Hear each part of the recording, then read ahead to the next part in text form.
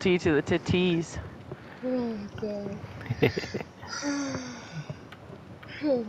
I've only got a couple more left in me, peeps.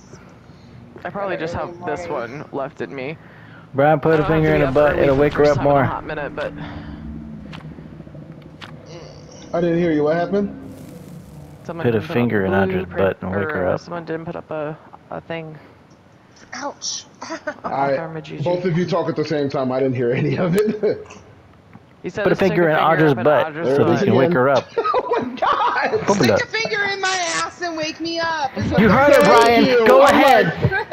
One of the wanted to say it so bad. See that? One of them wanted. They both want to say is so bad. I'm like, somebody give way and let me hear what he said.